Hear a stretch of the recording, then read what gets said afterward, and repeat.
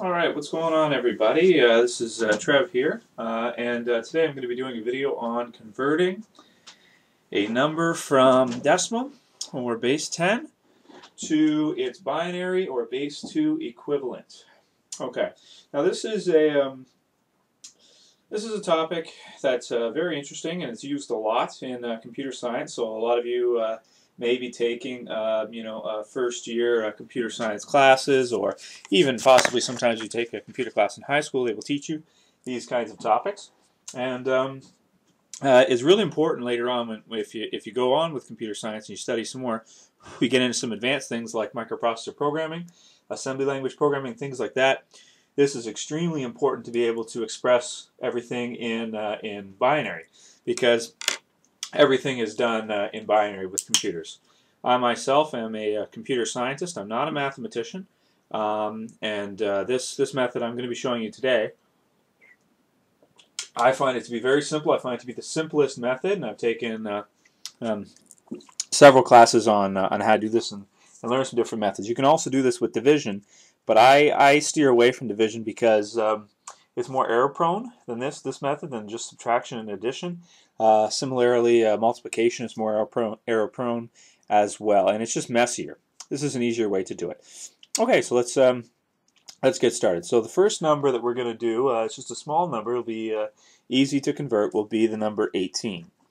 Okay, so we have 18 in, uh, in decimal or base 10, and we're going to convert that to its binary equivalent. So the first thing I do when I'm converting any number to, uh, to binary is I write out uh, the 2 to the power chart and what the equivalencies are of, of the different 2 to the power numbers.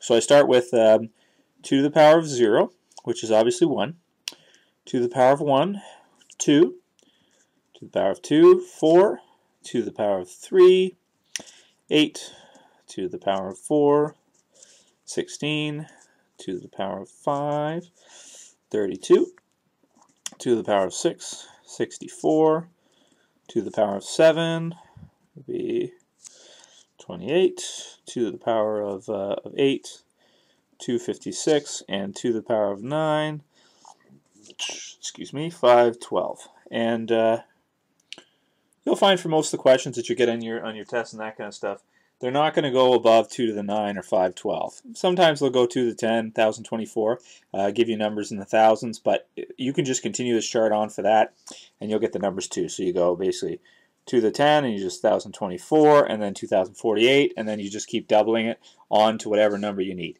Now here's how the method works. Okay, so you have 18, you want to convert that to its uh, binary equivalent. So basically, you just look at the chart right away, and it'll tell you pretty much what you're going to need to, to use to make up the number 18.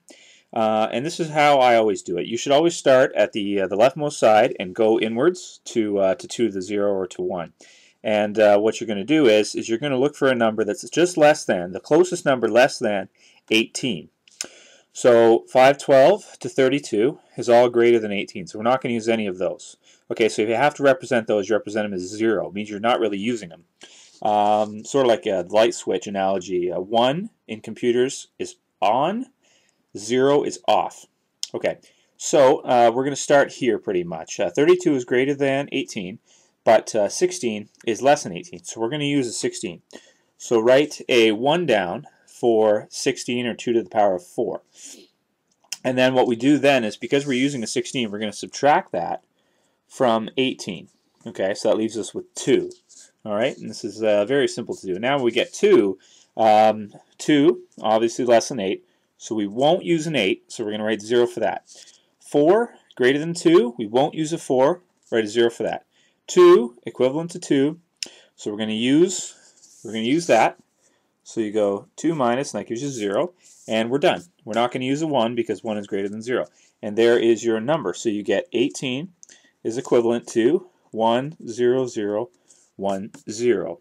And if you ever see on a test or anything, if a teacher's giving you a binary number and he gives you zero, uh, some zeros in front, so you have, like, for example, this is 1, 2, 3, 4, 5 digits. So oftentimes what you'll see is you'll get numbers like this. And the reason why they do that is because they're just grouping the binary numbers just to make more sense, similar to how we group thousands in uh, in decimal form.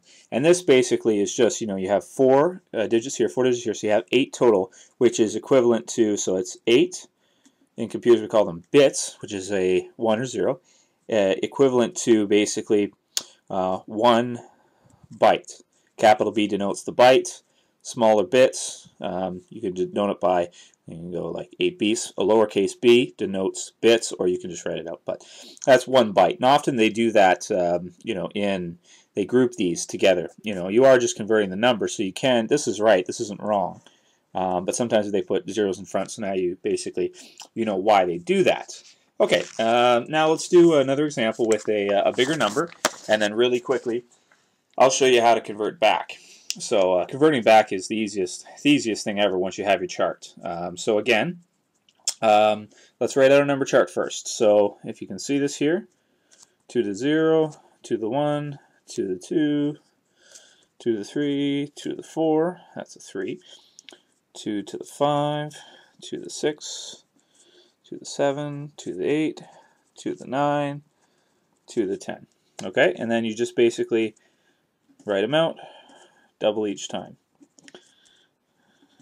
64, 28, 256, 512, and 1024.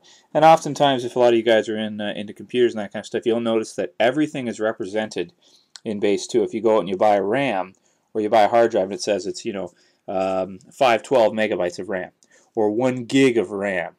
Well, 1 gig is not a 1,000, it's a 1,024 okay, and one terabyte, and that's you know 1024 um, gigabytes. And that's that's basically uh, how, how it goes with computers. Everything is represented in base 2. The reason why is because um, your processors, uh, all they do is basically add um, uh, base 2 base 2 numbers or, or um, bytes, bits, that kind of stuff. That's all they do. That's all they worry about.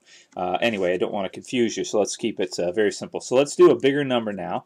Let's do the number, let's do, hmm, let's do the number 677. Just give you a random number. Let's convert that to binary. So 677, as we start, we look again, and we see that 1024 is bigger than uh, 677, so we're not going to use that. But uh, 512 is the closest number to it without going over. So let's use the 512. Okay, so you write a 1 down there, and you basically, very simply, 677 minus 512. We get 5, we get 6, we get 1. We get 165 remainder. Okay, 165 now, uh, less than uh, 256, so we're not going to use that, so 0, so don't use that. And the next nearest number is 128, so we will use a 128. Okay, so you got the 128, and then you just basically go through simple subtraction. 7, 3, 0. That's a 7. By the way, okay, so now we got 37. So again, 64 greater than 37. We're not going to use that. We will use the 32. Okay, so check off the 32. We put a 1 there for the 32. And then we, we subtract down. So we're left with, very simply, 5. 5 is uh, less than 16, so we won't use 16. 5 is less than 8, we won't use an 8. We will use a 4. And obviously 5 minus 4, equivalent to 1, just to show you, I'm just doing this to show you the, um, the pattern here of how you do this. And we're left with 1, so 0 and 1, and we have our equivalent of the number 677 in binary, which is equivalent to 1010 one zero zero one zero one, and that is our answer. Okay. Now, very quickly, and I say very quickly because it, is quick to do this. If you want to transfer back, if you want to translate back, if you, if the teacher gives you a binary number, let's say the number, oh, I don't know, um, let's just make up some random numbers, one zero one zero one one one. Okay, uh, let's add a zero. Okay, uh, all you have to do is very simply use your two convert your to the power conversion chart and literally just write the numbers in and add them up.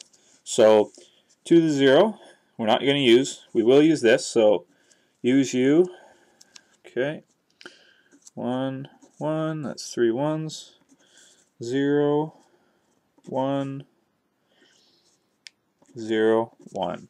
So that's 10, 10, 1, 1, 1, 0, very simply.